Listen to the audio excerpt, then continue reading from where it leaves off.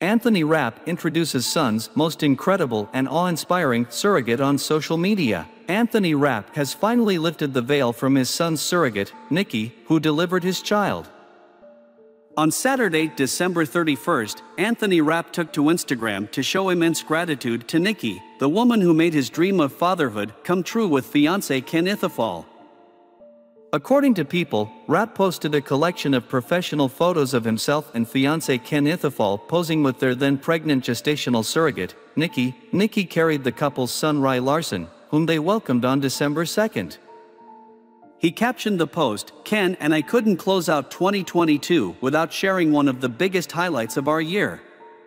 We had the absolute honor and pleasure of getting to know and share many meaningful and joyful moments with our gestational surrogate, Nikki.